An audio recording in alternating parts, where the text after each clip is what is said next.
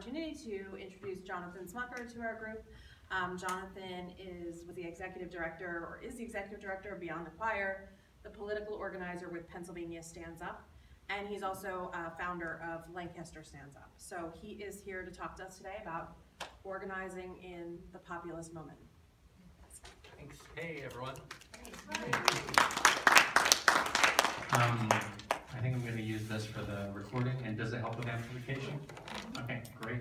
And how long should I be aiming for?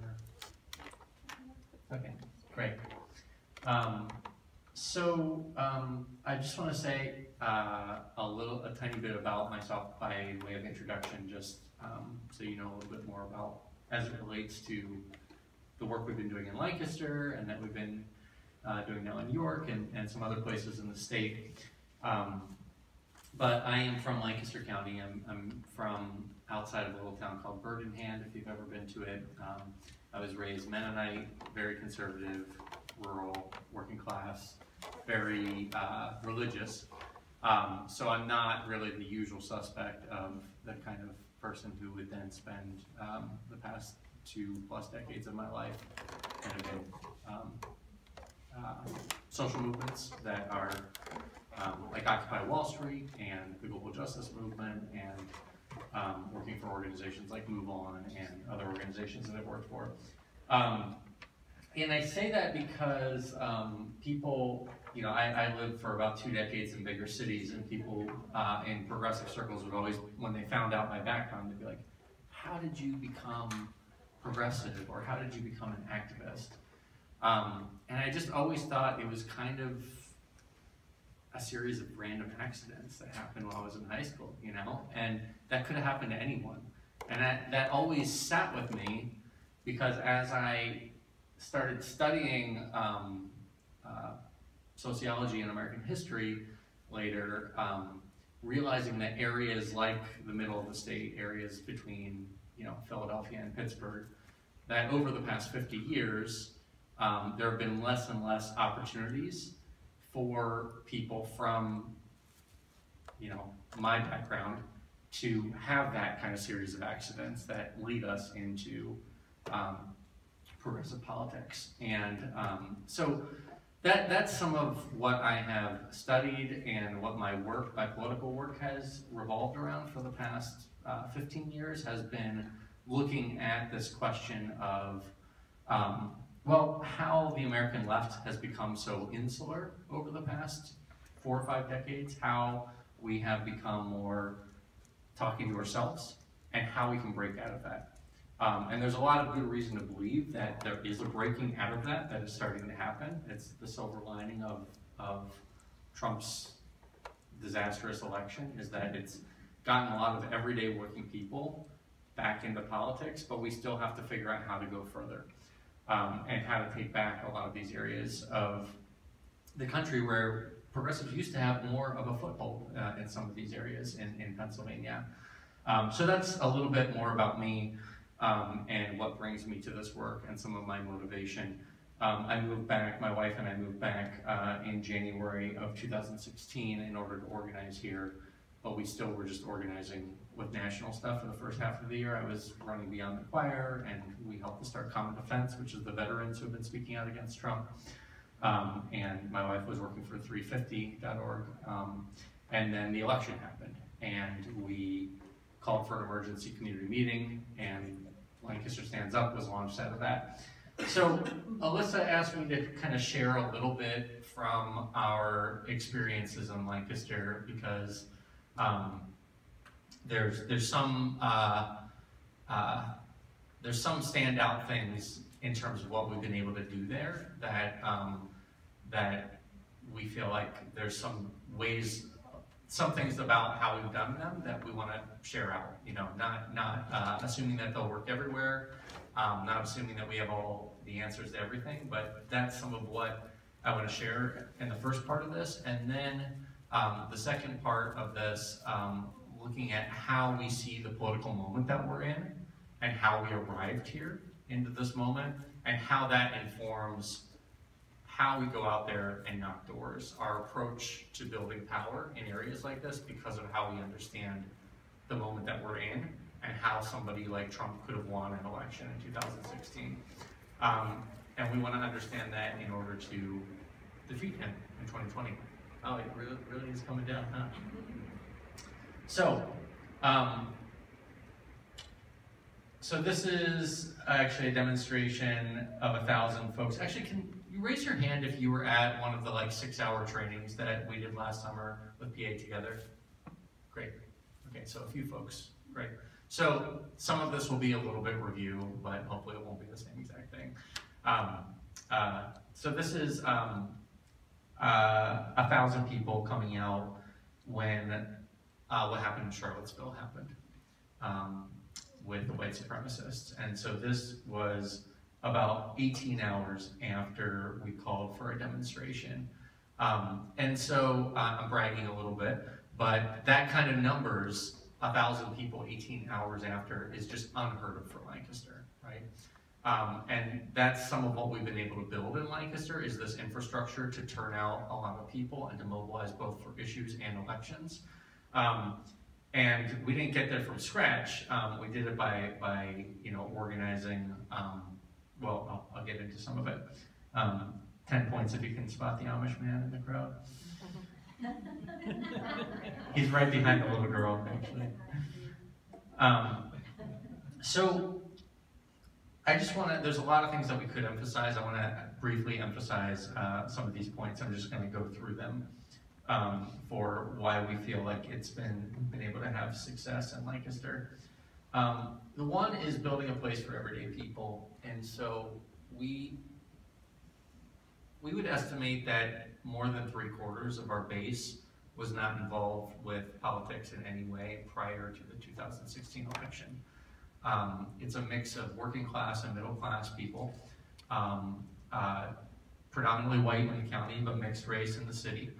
Um, and so we knew right away that most of our folks were not familiar with either being involved with elections or with protests, and that we would have to kind of walk people through a, a process to warm up to those things and to, and oftentimes activism kind of appears as this other identity for people something that they have to become in order to take action on things that they care about. And we sought to eliminate that. So there were a number of words that we chose not to ever use. We didn't use words like activist or protest.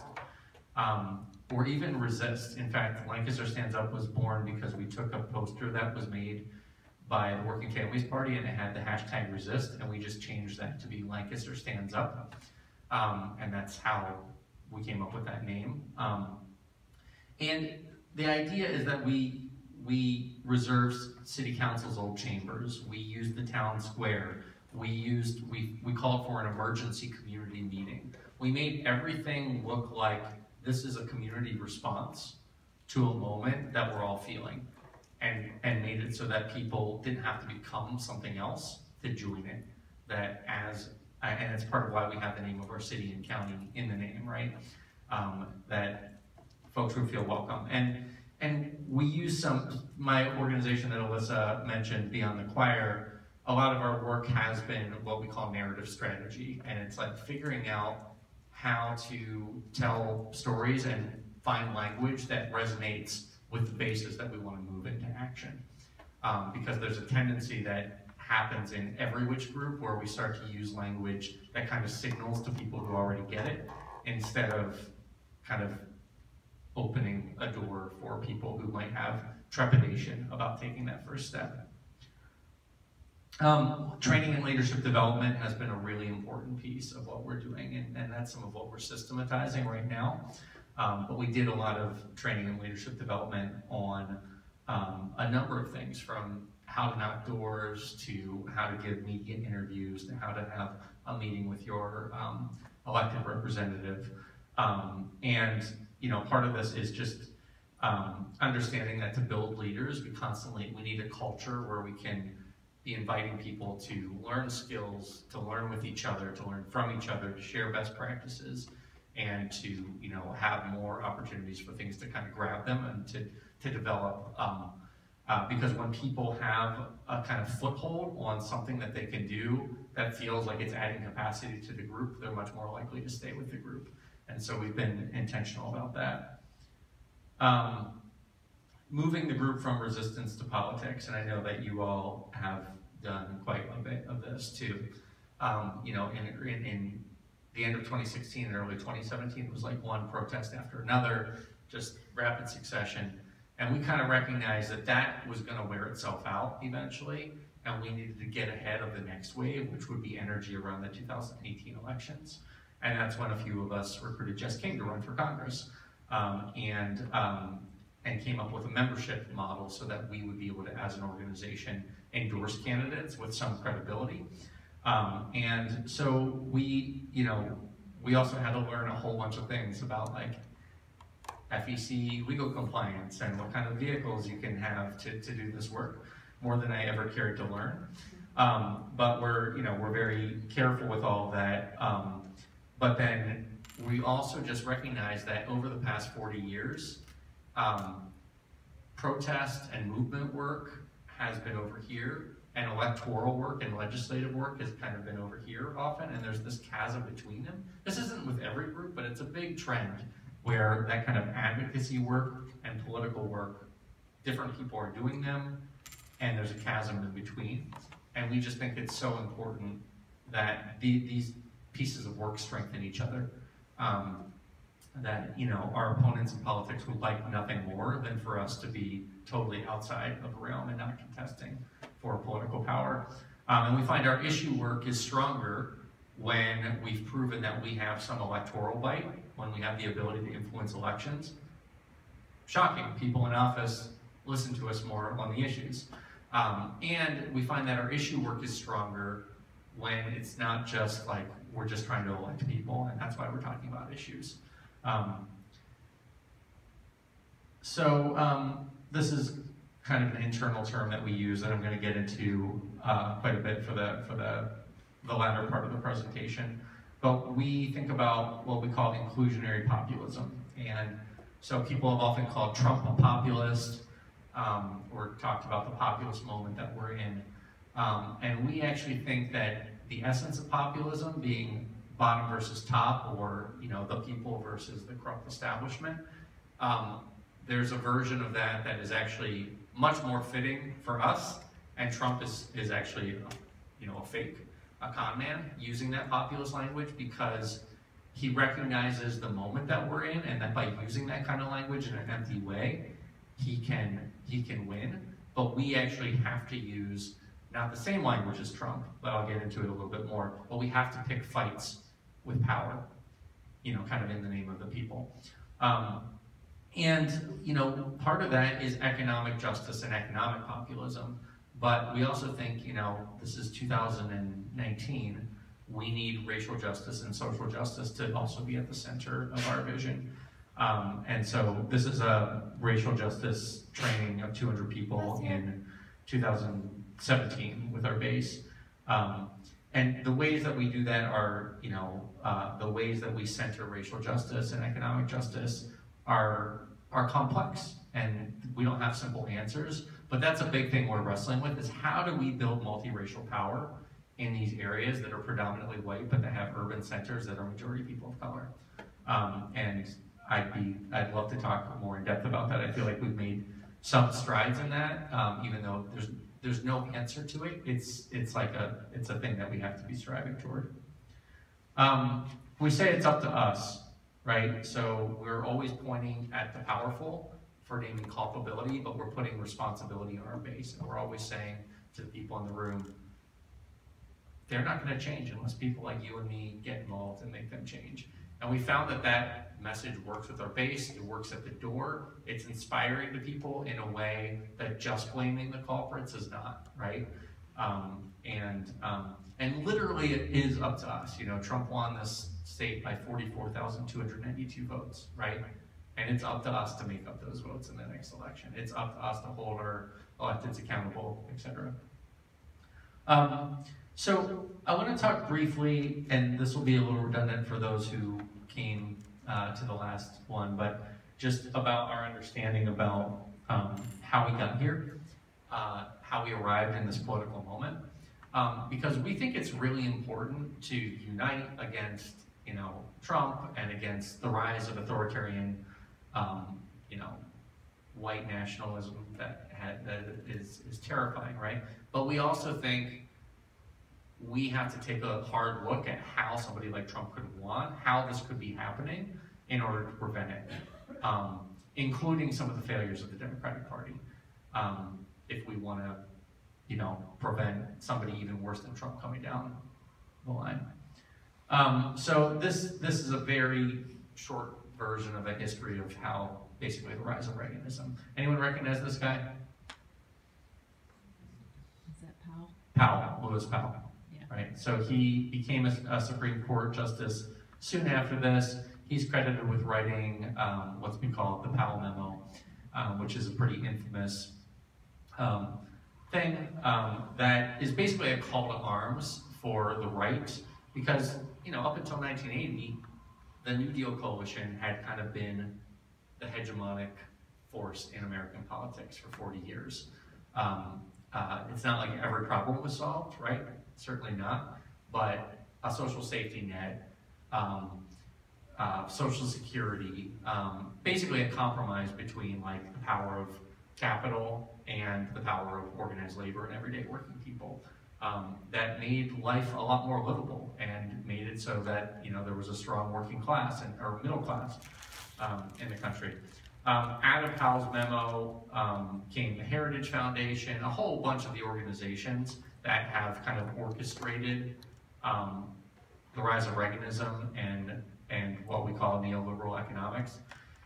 It's debatable how much this memo was a cause of those things as opposed to kind of a, a symptom and something that, but it, it really contains the roadmap. And so part of what happened is the right organized, the right decided that that historic compromise between capital and labor was over, that they were going to try to, to, to take power again.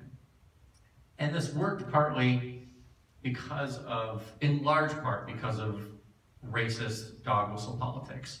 There's a really good book by an author named Ian Haney Lopez that is called Dog Whistle Politics that lays out this strategy.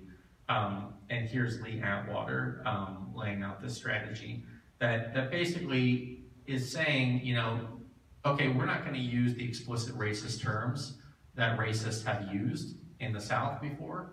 We're going to use these dog whistles. We're going to refer to busing and um, um, we're going to refer to, um, you know, basically what they did is they they weakened the idea of the public. They made the public look like, um, uh, okay, there's certain people who are taking advantage of the public, and those certain people, right, are black people and brown people.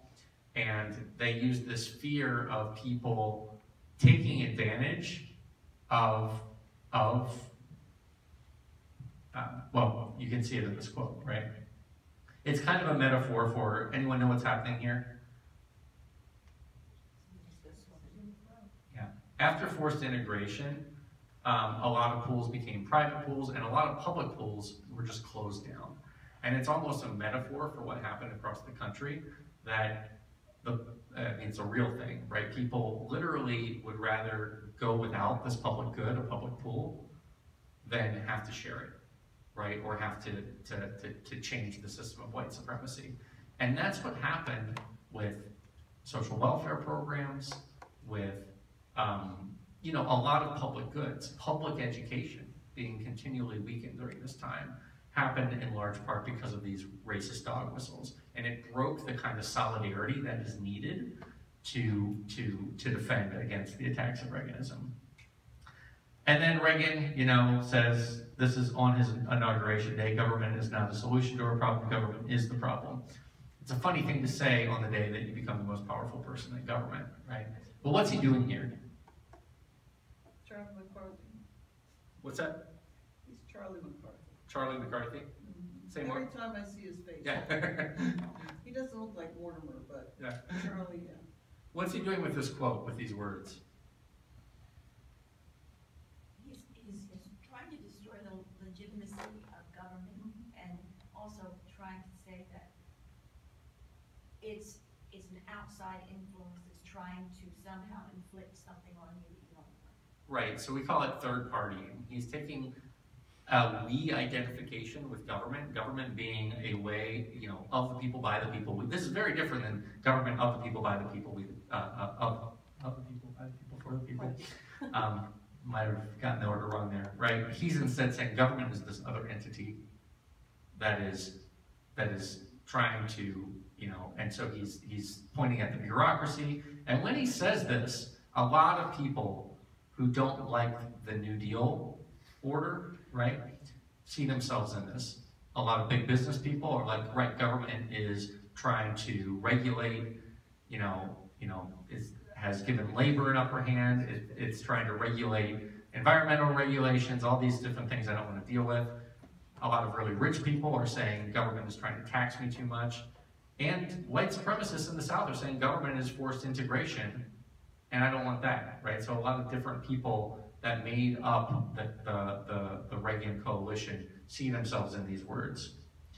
Uh, importantly, uh, anyone recognize what's happening here? Air traffic control. What happened? Uh, they went on strike and fired them. Yep, so we fired, was it eleven thousand or thirteen thousand workers? And it was, it, it had a chilling effect on organizing, organized labor in this country. Um, you know, prior to that, there was basically the federal government for a period of decades had, had opted to be, to try to be neutral in fights between labor and management or labor and capital. And this, the government decided they're throwing down behind the power of capital. Had a chilling effect on strikes, on union organizing generally. So what happens starting around now? The bottom 99% wealth starts to stag, become stagnant, and the top 1% starts to go up. Um, the disconnect on the graph on the left between productivity and worker compensation starts to divide around 1980. And the wealth uh, that is generated starts to go to the 0.1%, the top 1%, and hardly at all um, below that. And then racial inequality starts to skyrocket, uh, get even worse again as well, um, especially during the crash. The crash. Um, so, where were the Democrats during this time? Anyone know what's going on here? Stopping crime. This is this is Clinton offering his um, tough on crime legislation, and it's in um, I forget the town. It's where the Ku Klux Klan was founded. And just as Reagan announced his campaign in 1976 in Philadelphia, Mississippi, where um, three civil rights um, workers had been murdered intentionally, a lot of people think that Clinton did this intentionally too, to signal um, to the right. Um, so the drug war, right? Welfare to work, welfare reform legislation, um, NAFTA, all these policies. Um, and, and so there's a lot of alienation of everyday working people from the Democratic Party, the party that had been the party fighting for them. And what we're not saying here is that there was no difference between the Democratic Party and the Republican Party, but the Democratic Party stopped fighting visibly and vocally for working people. And it was during the same time when everyday people were less involved that big money consolidated its control over the political system and that everyday people started to feel more and more alienated. Um, and so we, we get to what is called a crisis of legitimacy, which it, that's what political scientists call it when um, authority, political authority is seen as illegitimate by a critical mass of the population. And so, uh, in my view, a crisis of legitimacy started somewhere in the second half of the George W. Bush administration. The Iraq War being a disaster, uh, Hurricane Katrina, uh, increasing, um, you know, police brutality, the foreclosure crisis. This all culminates, right, in the 2008-2009 financial meltdown. And that's the first moment. It's kind of like whenever there's a crisis of legitimacy, the people in charge, the political class, is always the last to get the memo. Um, and that's the one moment when they realize, oh, we're in trouble when the financial meltdown happens. But what happened since the, the meltdown? They stabilized the economy and they tell themselves a story of a strong recovery and that we're out of the crisis of legitimacy. Well, we don't think we're out of the crisis of legitimacy. 80% of the American public has been living in a recession ever since then, right? And um, so that's the moment we're in, is our government doesn't represent us, our economy doesn't benefit us, our society doesn't value us equally. Um, and we got this guy, partly as a result. Um, so the last piece of this that I want to say is the more solution-oriented piece. And that's how to understand how Trump manipulated this moment to get elected and what we can do to win instead of that. How am I on time? Okay. So this is what we call bottom versus top polarization. We'll get into it in a second. So we think we're really in a battle for the soul of America. And what happens in a crisis of legitimacy is that the political class becomes illegitimate. Nobody wants to listen to them anymore. And so you have these challengers, these outsiders who come around and start to offer a new vision. And you have it both from the left and the right. And how that plays out is so important to determining the direction forward. Um, there was a similar thing that happened in the 1930s, right? Here and in Europe. Um, not to terrify anyone, but like, but that's what happened. I mean, people think that, I mean, FDR barely won and barely was able to do all those things. There was a huge fascist movement in the United States. And there was a huge left in Germany, in Italy, in Spain. Um, but the, the, the right wing won uh, in those countries. So there's a lot at stake in a moment like this. It's not neatly exactly like that, but we've seen from the past couple years the normalization of white nationalism. I mean, stuff that we would not have imagined possible just 10 years ago. And that's because of this kind of moment we're in. So this is where we start getting practical into our approach at the door and how this landed in Lancaster stands up. This is how we are told people are polarized in American society. We've got the left, the right, and the center, right? So we've got the left and the right, the corresponding labels liberal and conservative, and we're told the corresponding parties, Democrat and Republican. So we don't use this language, or we, we avoid it as much as possible in Lancaster Stands Up when we're knocking doors. We try not to invoke it. We try not to even use terms like gun control, which have been labeled along these, these, these lines.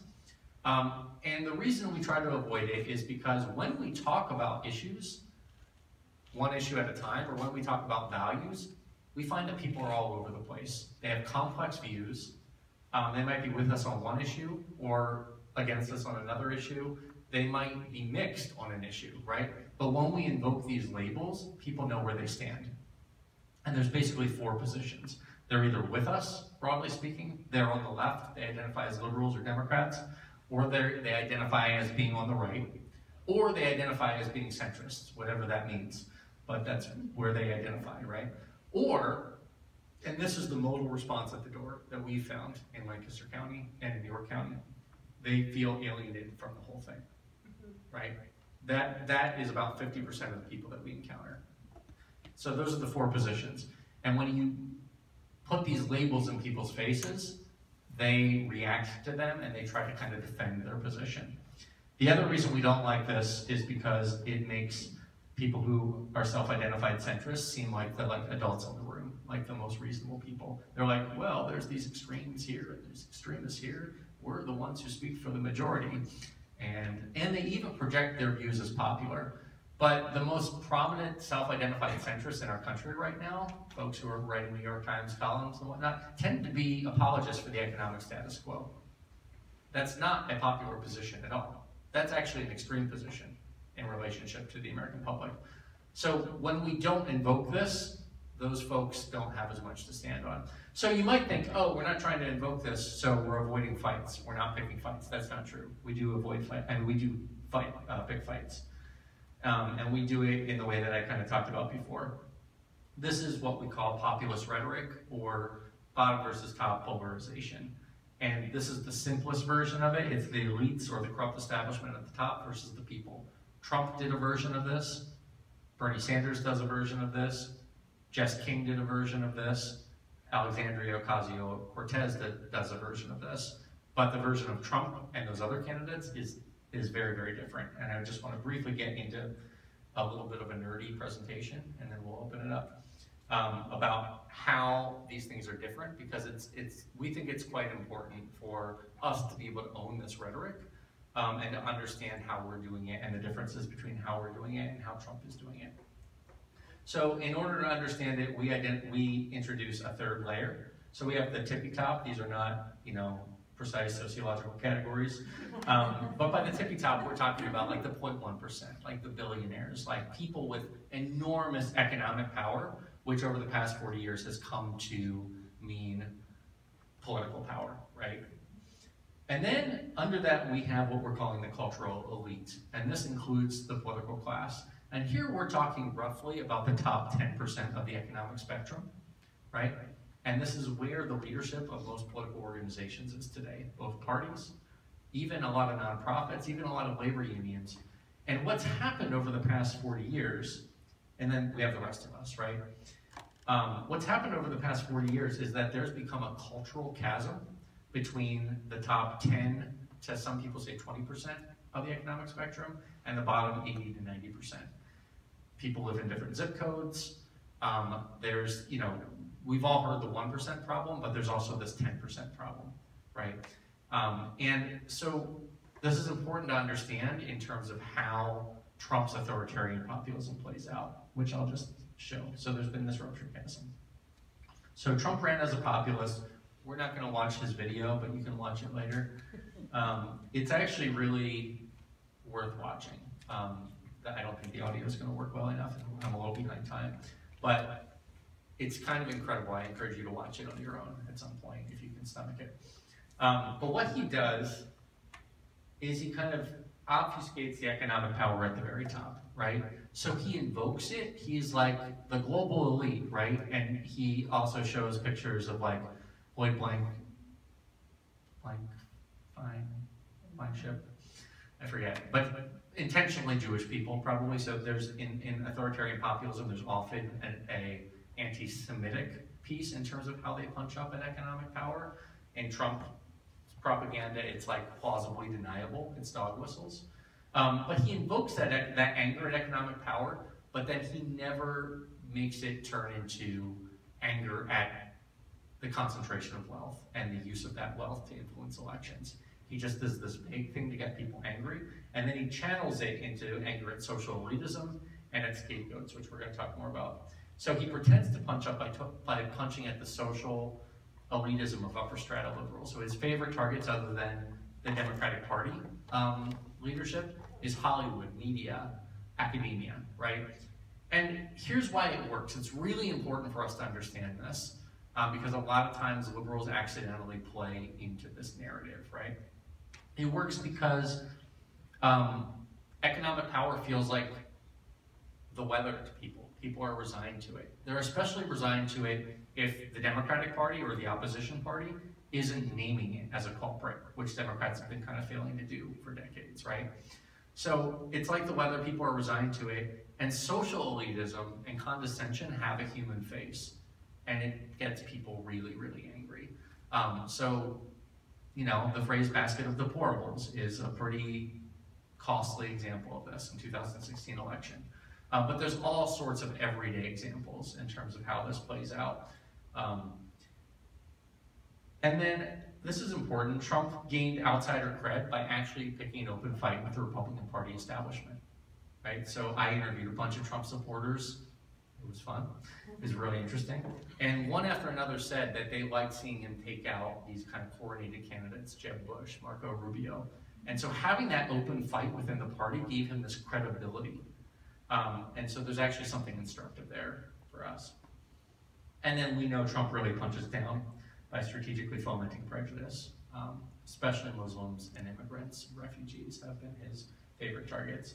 And then he invokes a solidarity, but it's exclusive, right? So a lot of people who feel alienated from American society and from politics would go to his rallies and leave feeling energized, like they're part of something.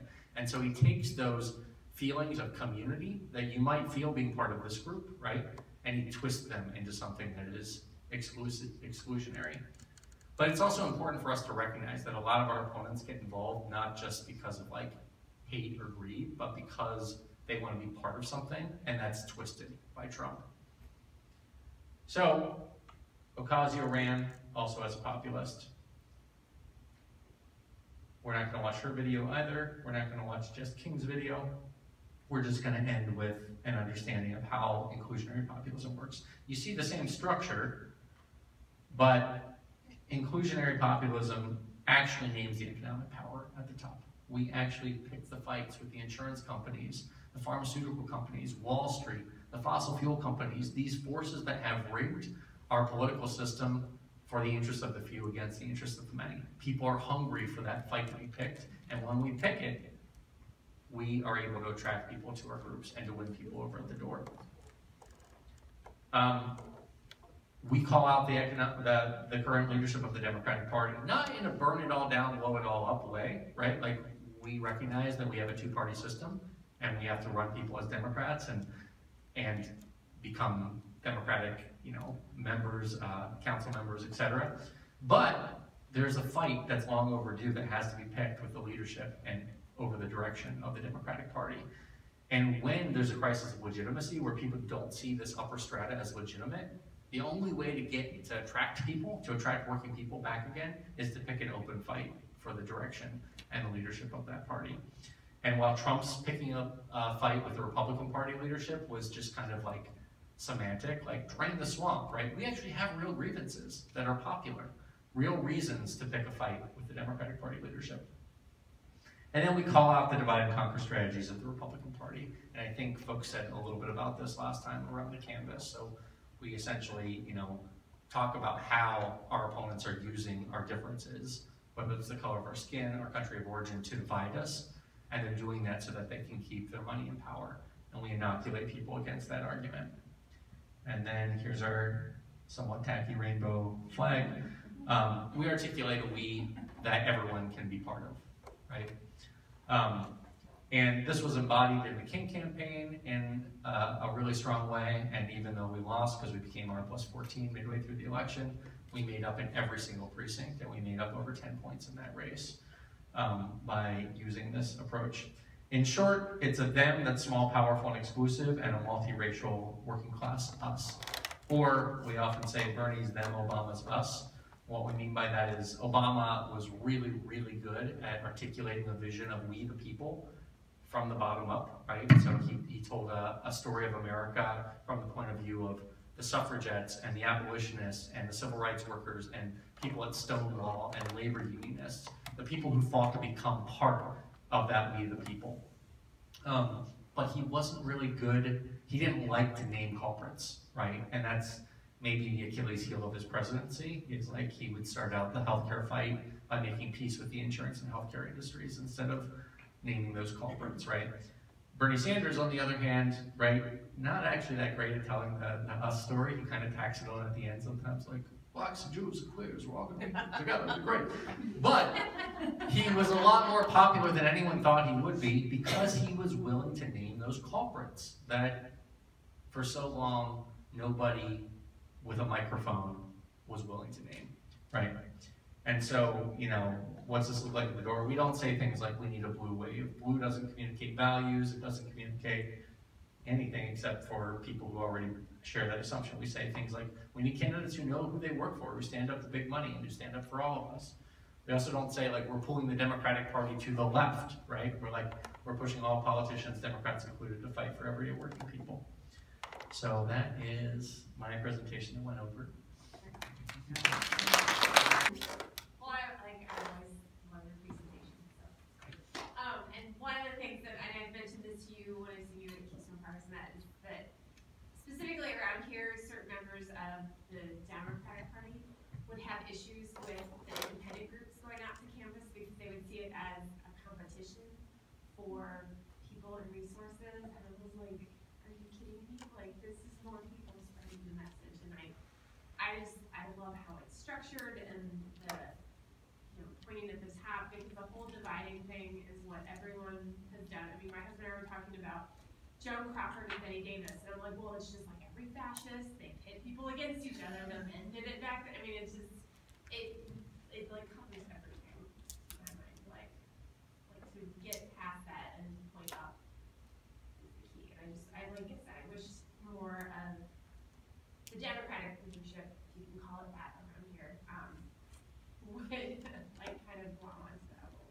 Yeah, we, we encounter that same thing everywhere we're active across the state. Uh, raise your hand if you're active with your local Democratic Party in some way. Great, right, so we have people who are doing both, right? It's important. The Democratic Party has a really important role to play, but outside organizations, especially in this moment, have an important role to play too.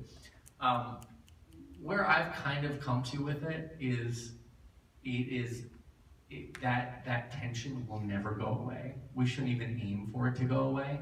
We should be principled in the tension, but we shouldn't apologize for bringing in volunteers that the local Democratic Party can't bring in. We shouldn't apologize for being able to reach people that the Democratic Party has failed to reach. Um, and if you know sometimes they lose a volunteer or two to us, well, organize better, right? You know, sorry to be harsh, but um, uh, you know organizations are responsible for losing their own volunteers. Um, and you know, I say, I think, I think that I say that as somebody who thinks that the success of the Democratic Party is very, very important. Um, but it's like, I mean, I, I, and I'm sympathetic to it. You know, I in Lancaster, there are people who have worked in the Democratic Party for decades, worked against the culture, you know, fought the good fight, kind of held a righteous candle in the in the wind, and then Trump gets elected and this new organization called Lancaster Stands Up comes along, recruits tons more volunteers than what they could recruit, recruits a better candidate than what they've been able to recruit. And that's like, that's gotta be, I, like, I'm sympathetic to how that would feel, right? Um, but we've all gotta like change with the times. Um, and um, yeah, I, I don't see that problem going away of getting constant pushback of like, why are you doing this separate? Why are you? Um, and and I think we have to constantly reevaluate those relationships. But it's so important to build uh, a strong Democratic Party. You you look at the times when we have made the most progress in this country, civil rights le- le- legislatively, like civil rights legislation, all the civil rights acts the New Deal, which was a number of legislative packages, right? Those happened when you had Democrats controlling government and you had strong outside independent movements and organizations pushing from the outside. It's always been the combination. In fact, with Obama, we got Democratic control of the, the government, but we had historically weak social movements.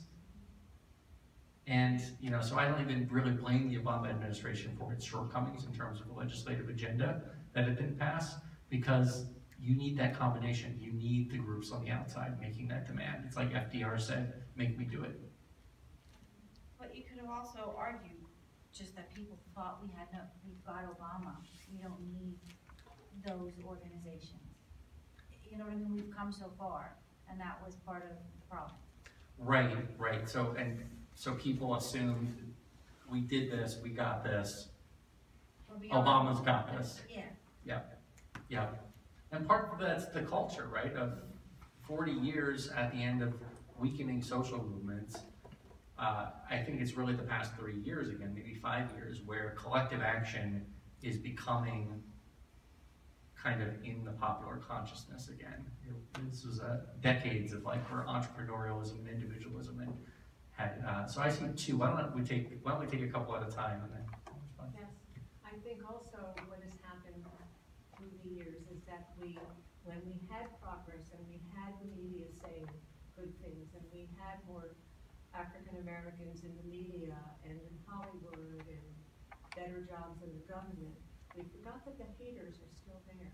And they never went away and they were just simmering and just waiting.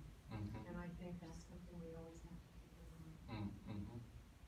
I pick up from what was said, see a lot of white faces, not very many uh, people of, of color. And that seems to be, a seems to be a big problem from my perspective. Any luck in that, in making inroads in that direction in Lancaster? Yeah, um, yes, and it's constant and it's difficult. Um, yeah, for sure. Um, so in Lancaster, at first our base was around 25% people of color, as most of our base was concentrated in the city. Um, and it has gone down as we've expanded the county. Um, not as in we've lost people, but just we got more white people active. So the model that we're trying to kind of, you know, figure out here is how do you build county-wide or district-wide political power that's multiracial um, in an area where the cities, like York City, Harrisburg City, and the capital region in PA ten, are majority people of color, but the, the surrounding area is majority white. And that's really a hard thing to figure out how to do, because you want participation from people of color, and not just like kind of anecdotal or ornamental, um, where people are in a white space as individuals. You want the community to have power, to have political power. Um, It's So- Stacey Abrams. what's that?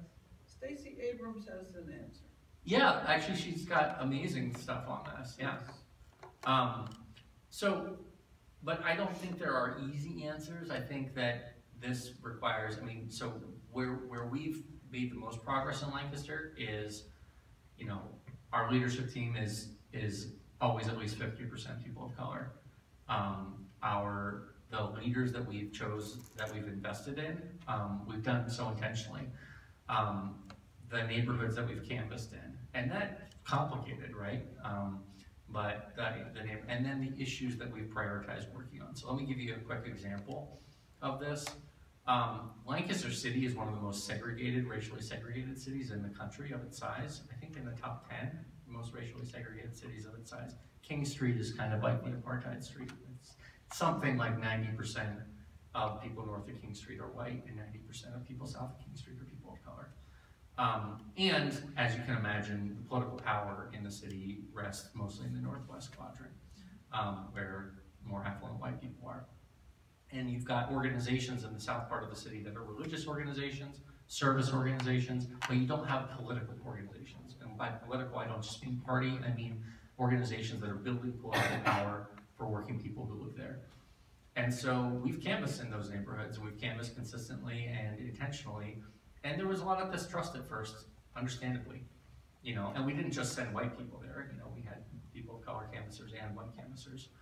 Um, and last summer, at the height of the King campaign, when everyone knew our primary commitment was the King campaign, we also fought a campaign to stop Geo Group from privatizing the prison reentry services in Lancaster County. And we got a bunch of the community groups together, we put work into it, and we beat Geo Group. It was a done deal, and we reversed it, costing them a half million dollar contract in their first kind of trying to get into Lancaster County. That meant something to people, that we put our time and effort into that fight, and that we won that fight. And then, uh, within a couple months, there was a big police brutality incident, um, that we mobilized a few hundred people with twenty-four hours notice, and put more pressure on the city on police brutality issues than had ever been the case. And so it's, it's in that kind of unfolding reality, by being oriented to what are the fights we can pick, what are the things we can do. I think that's how these dynamics are defined, redefined over time. And it's not, it's not easy. I think it's really, really hard. Um, and there's different models. Um, I know like in Berks County, Make the Road organizes Latinx people, and Indivisible Berks is more predominantly white and does a lot of support work. That's not really the model we've done in Lancaster, but, um, but there's different groups wrestling with us in different ways. So I would not report to have easy answers, but look, racial, racism and racial identity has been a predominant organizing force in terms of organizing our lives, organizing wealth in this country, and it's thick and it's hard and it's a long-term thing that you have to be serious about, about confronting. You have King Street, we have Susquehanna River. Right, right. Uh, how would you suggest, we have a situation in Cumberland County where the Republican Party puts out signs, dog whistle signs, every election that say, if you love living in Cumberland, vote Republican. And it's just, what do you do with that? How do you fight that? I mean, there's signs, they have yard signs, like. eight Greg yard, Rothman, Cumberland thank County. Greg Rothman. Yeah. If you love life in Cumberland County, vote Republican. I think a lot, I think some people see that and don't even realize that that. No, they don't. It's a total dog It's whistle. so Yeah. racist. Yeah. Yeah, I don't, I don't know exactly, I mean, I don't know your area as well. Um, I do think that one of the things that they're doing that, that is powerful and instructive on, some- like, us calling this Lancaster Stands Up, right? Is a contest over what Lancaster means, what Lancaster values, right? Somebody could, and, and we use signs that say Lancaster values healthcare for all.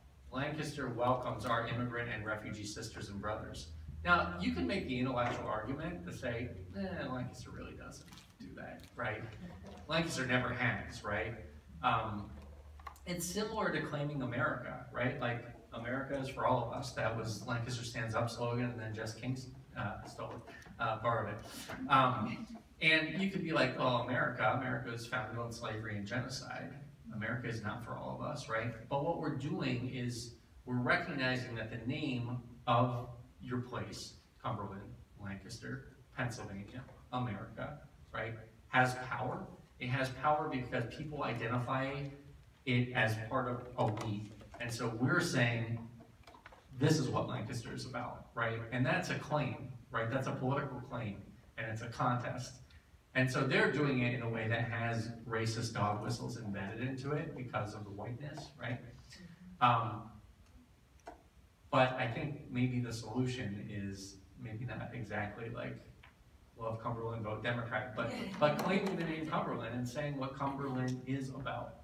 And, um, boy, it gets under their skin. It really gets under their skin to have a place like Lancaster claimed for as progressive. Um, you know, you can see it by the number of editorials that they have, the GOP has written about us and their FEC complaints.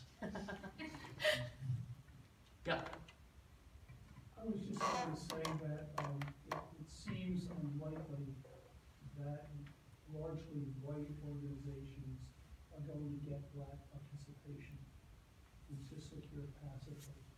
I think part of the problem is, rather than our looking to see if blacks will participate with us, I think we need to reach out to, um, African-American organizations, to Latino organizations, and that's been really lacking in this area. Um, There is, um, the Harrisburg area NAACP is having its meeting in a couple of weeks. I, I just wonder how many people here knew that or even are planning to go. Um, I- I was at the an NAACP meeting a couple of weeks ago, and they are, the members are determined to, uh, reverse some of the voting trends, uh, in the city in these years, but I don't think they can do it alone. I think they're looking for participation. Um, if we wanna see where the problem is, we probably start by looking in the area. Amen, yeah. We've, we've worked closely with our NAACP in Lancaster, um, and with some other organizations. Um, I don't see it here though. Yeah. So, I mean, there's not easy answers again, right? Like, you're gonna, you, obviously, you wanna make your group welcome for people of color, and, but also aligning with other organizations that are people of color led. I, I guess my point was, I don't think we can just sit here and be passive. Yeah. Great. So, did you have something on I was gonna say, like, I, I'm a member of Moms in Action, and they're doing a big push for, yeah, DEI, so diversity, equi, diverse, equitable, and inclusive. Because you look at generally leadership of Moms in Action, it's pretty really white. And it's an awkward discussion, we watched a video by a president, I can't remember his name, but he talked about, he's like, if you're sitting in this lecture and you're comfortable, then you're not listening. Like, this is uncomfortable work. Um, but I was interesting, one of the women who was a lead in a group that we were in, we talked about, like, you have to watch, what, and this is what I always fear, is me thinking I know better than someone, and the whole white savior garbage. Um, but like, she even talked about like finding, um, black sororities, and like reaching out to them and say, hey, do you need assistance with any events, or what are you doing, any drives, or something can assist with, and making, making connections, not even on the issue at the time, but just seeing what you can do, how about just to reach out and be a good neighbor thing. As one strategy. One of the things that, like, you guys had your Lancaster City, you said that's where you started your growth from, and then you moved out and became.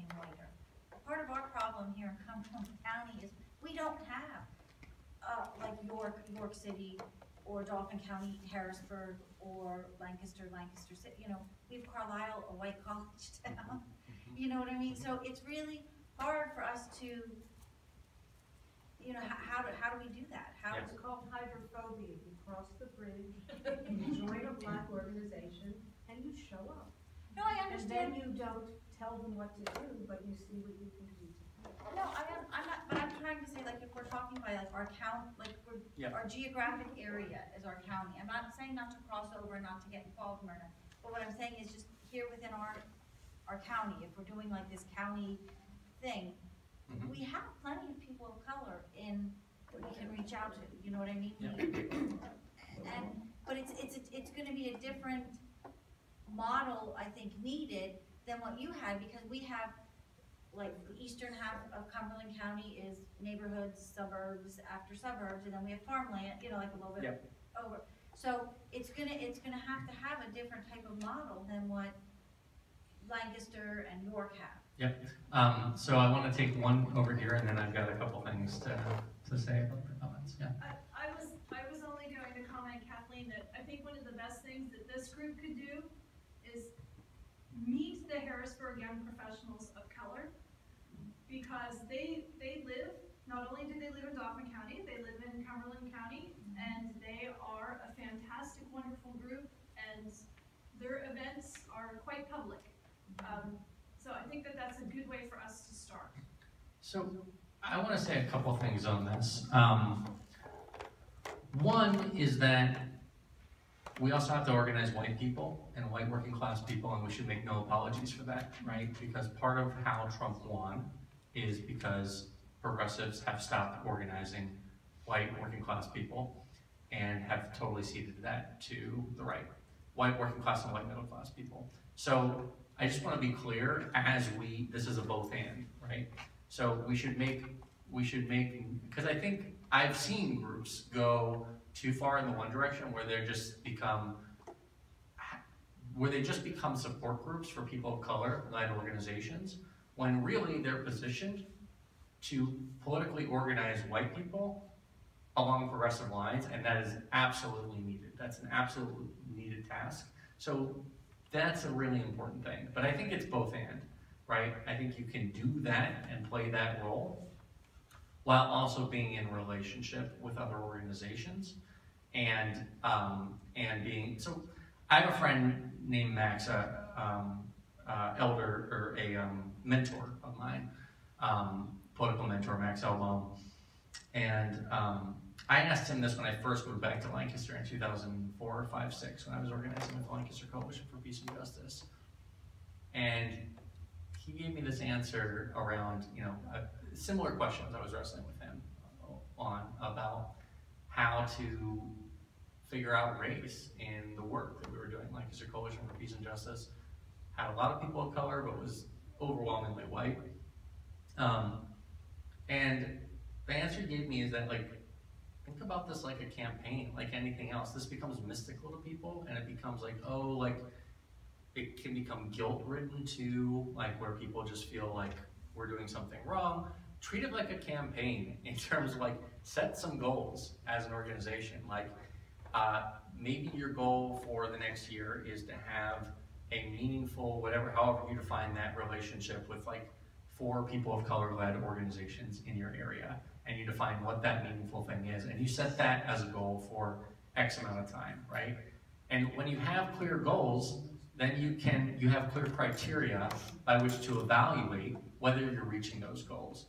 And in that process, your goals may expand, right? But to have clear goals around how you're going to integrate a racial lens, a racial justice lens into your work, um, because it's different for every group. And like what you said, it's different for, I mean, actually, I think some of our groups are more similar than what you think, because in, in York, we haven't been active in the city at all. This has all been in Southern New York, right?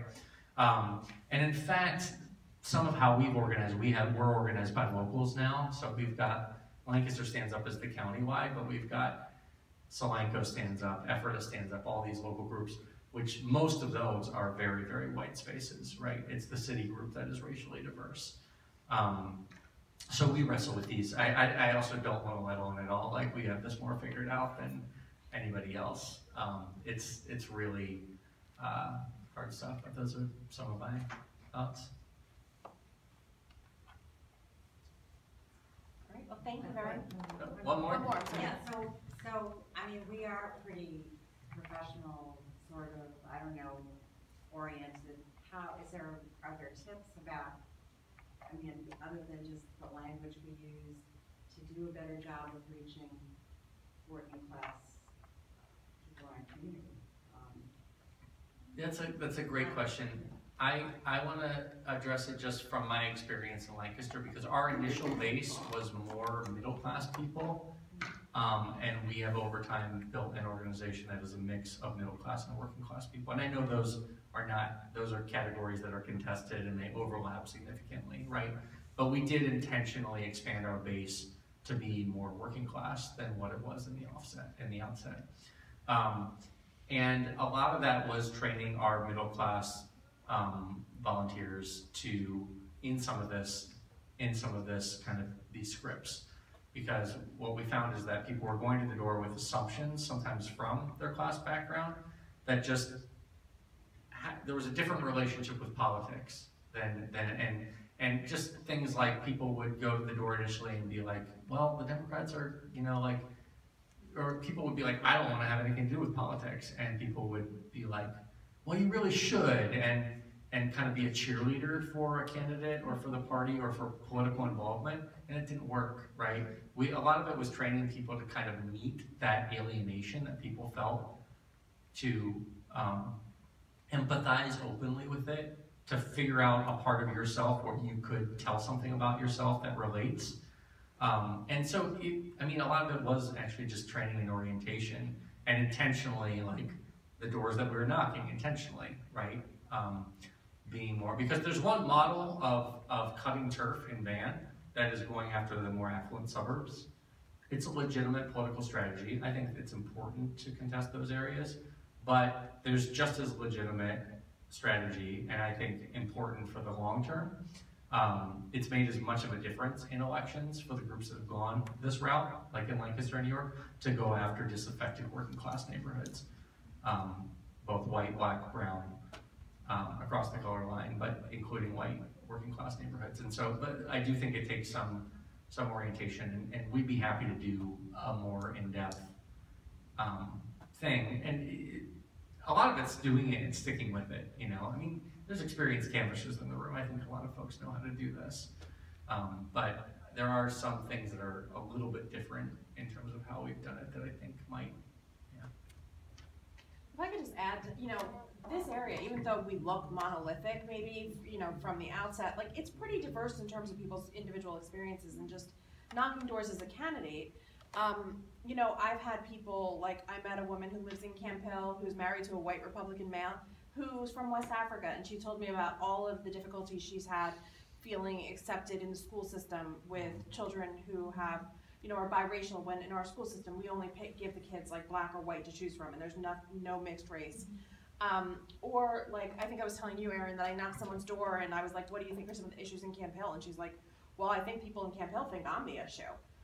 And, you know, I was like, tell me more about that. And she said, well, we're renters and nobody in Camp Hill has any respect for renters. And I just think that there's all these people that when you start, when you go talk to them, like you have these conversations where you realize, and Erin, can you just say about the different boroughs, like the, the story you were telling me? So, um, I'm I'm a working middle class um, candidate, and and when I just briefly when I'm not working, I'm not getting paid. I am you know commission based but hourly, and um, I don't have time for this, but I've made time for this, and I'm making less money than I've ever made before in my life. So our family is taking a hit on purpose for for the betterment of the borough, potentially. That's the goal, right? But um, so when I sit in meetings, because I am sitting as a vacancy filler since June in Camp Hill, um, I have a different perspective. Um, my fellow councilmen are from different neighborhoods than I. Um, so, and I hear what they're saying, and I say, oh, I would like to say, if that's the case, then this could also be the case, and just give my point of view because I am coming from a different day. You know, my day is very hectic, and I'm trying to maximize my paycheck, and I am trying to make meetings and committees and um, meet with people and canvass, and I'm trying, and I basically hound Alyssa for information because I don't have time to do it myself. Um, but they have a little bit lax of a day. So when I bring up my point of view, I'm often reacted to with, do you live in a different borough than us? Oh. Or it's as if you live in a different borough than we do. And I laugh and say, I do, guys, over and over and over. I live on South 30th. I, I live next to a one car home. Like I, we, you know, we don't have a car payment until recently and it's killing us. So yeah, I live in a different borough. And that is what I'm trying to figure out. Our socioeconomic diversity is vast in, in Camp Hill Borough, just particularly. Um, and we need that representation, but it's so hard for working class people to do it. We don't have the time, we don't have the flexibility, we don't have the money. So, They canceled a meeting on her without telling her, and and I had moved my entire schedule around, I could have made enough to pay for my children's voice lessons that day, and I showed up and no one was there. Because they didn't see the, um, value in calling me directly, they posted it to Facebook, they put it on their website, but I showed up, and, and they canceled it within twelve hours, so. anyway, I just wanted, I whatever think we have that, I think we have people we could bring in here that are not, that are not feeling heard or represented, and they're right here and they're our neighbors. And to empower them. Be- Yeah. I've always felt empowered. I thank my father for that. But I know a lot of pe- peers uh, economically are not empowered and they're just tired, you know? So to mirror their feelings and their experiences is powerful when you're going door to door or when you're talking with folks in different organizations. And that goes for, you know, middle class, people of color, et cetera, et cetera, parents, non-parents, teachers, et cetera. So Thank you. it's a valuable skill.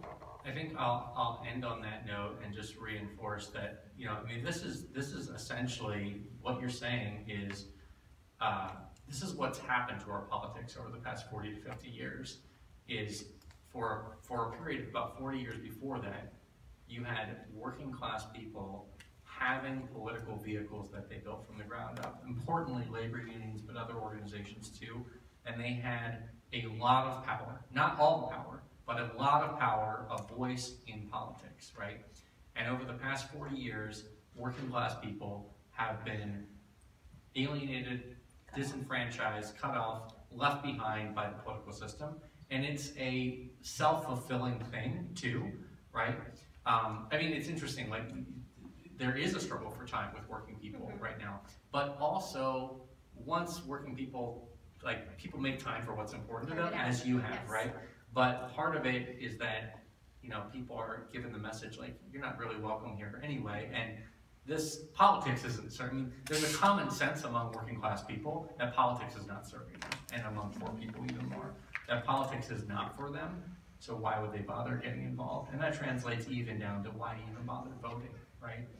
Um, and so I think that really gets at the heart of what we have to reverse in the work that we do, in the, in the, the, the door knocking that we do, in the power that we build, um, in, in groups like this, and I think in who we intentionally try to recruit or align with in our organization. So, um, great questions. I'm glad that we really got onto the topic of both like race and, and class and, and involvement. Yes, yeah. Thank you. Yeah, thanks everyone.